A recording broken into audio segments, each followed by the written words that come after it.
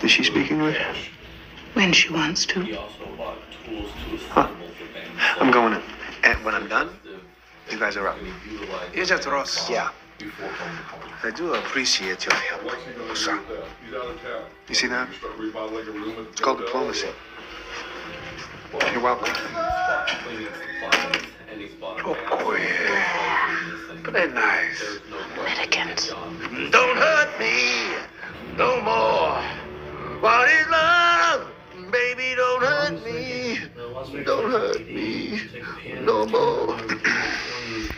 You know, you really shouldn't trust the Wakandans on much below your speed. I don't trust anybody, not in this job. But what I am interested in is that arm cannon out there. Where'd you get that? It's an old-mighty tool that I made some adjustments to, but I can uh, get you one if you like. Why don't you give me the name of your supplier, and I'll ask them. He's right outside. Why don't you ask him yourself? What, T'Challa? You're telling me that weapon on your arm is from Wakanda? Bingo. What do you actually know about Wakanda? Um.